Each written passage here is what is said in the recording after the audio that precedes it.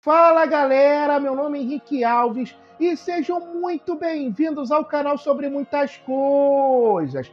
Mais um vídeo super especial para projetar lançamento da Netflix. E dessa vez eu vou falar sobre a possibilidade da série Sangue e Água ganhar uma quarta temporada. E eu decidi gravar esse vídeo pois muita gente que já assistiu a terceira temporada da série Teen veio me perguntar se ela ganhará ou não o quarto ano. E quem me acompanha aqui no canal sabe o quanto eu curto falar sobre séries teens e também sabe que eu não gosto de ficar enrolando. E por causa disso, eu já começo dizendo que no dia que eu estou gravando esse vídeo, a Netflix ainda não confirmou se a série ganhará uma quarta temporada. Porém, eu acredito que Sangue e Água tem grandes chances de ser renovada, pois além da série reunir vários elementos que uma série teen precisa para ser renovada pela Netflix,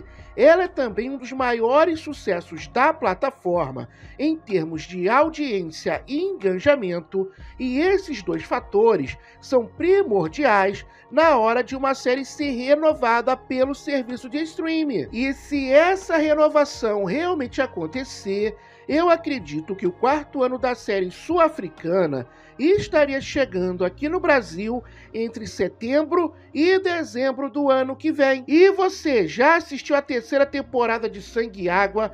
Gostou do que viu e não vê hora da série ganhar uma nova temporada? Deixa aqui nos comentários. Gostou do vídeo? Curta o vídeo, compartilhe o vídeo. Isso é muito, mas muito importante para o crescimento do canal e eu sempre gosto de lembrar: se você curte filmes e séries, esse é o canal certo para você. Pode se inscrever sem medo. Me siga nas redes sociais que é o arroba Henrique Alves TV. Um grande abraço e até o próximo vídeo. Valeu, galera. Fui!